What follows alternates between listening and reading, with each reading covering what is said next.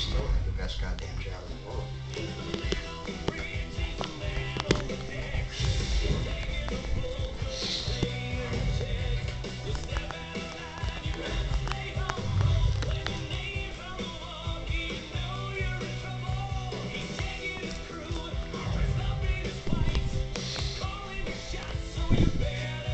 What is that idiot doing?